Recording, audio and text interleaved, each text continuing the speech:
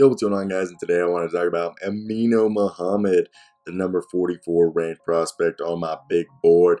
And this guy is from Ghana, and he plays for Georgetown. He's 19 years old. He's six foot six, and he's a fun guy to watch if you guys have not been following. He's got some size, and I think he could be a very good NBA player. And this guy is 210 pounds. He's right now averaging 14 points, 8 rebounds, 2 assists, and he's shooting, yes, 37% from the field. But he's a guy that he shoots 30% from three, and he also gets, you know, almost two steals a game.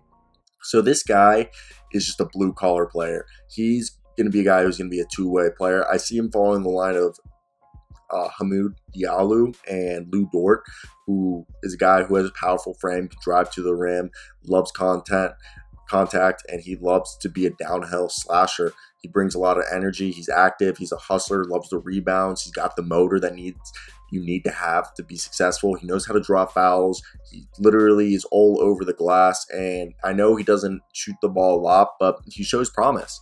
And it's just because he's all out playing at 120% every freaking minute.